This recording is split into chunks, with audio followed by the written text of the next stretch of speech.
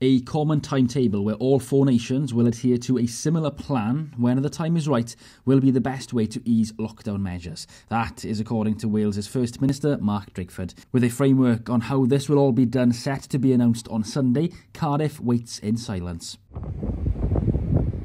and the majority of Brits, according to a new survey, would not like this silence to break anytime soon, with 60% of respondents in an Ipsos Mori survey stating that they would feel uncomfortable carrying out regular activities such as visiting bars and restaurants or using public transport if the lockdown was eased. And despite lockdown restrictions being reviewed this week, that doesn't mean we shouldn't start to consider breaking the rules. And if you do, you may have this pooch to answer to. South Wales Police's very own PD Reggie is learning to search, so it won't take him long to catch you out on your second walk of the day. Some images now of the quiet Cardiff streets from the National Police Air Service, who have been assisting South Wales Police over the last couple of days. However, not everyone has been playing fair. Even if the streets are fairly quiet, selfish displays of disregard are unfortunately blemishing the increased level of community spirit. A shocking video was sent in to us by Councillor Joel Williams of an example of fly tipping in Old St Mellons.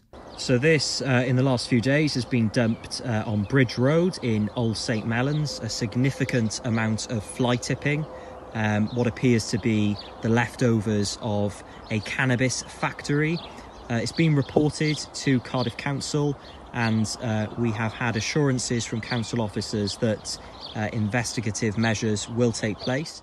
But despite some individuals showing little regard for their fellow Cardiffians, the feeling of community and solidarity, for the most part, has been nothing short of inspiring. From everyone at Cardiff TV, we urge you all to stay strong and stay safe.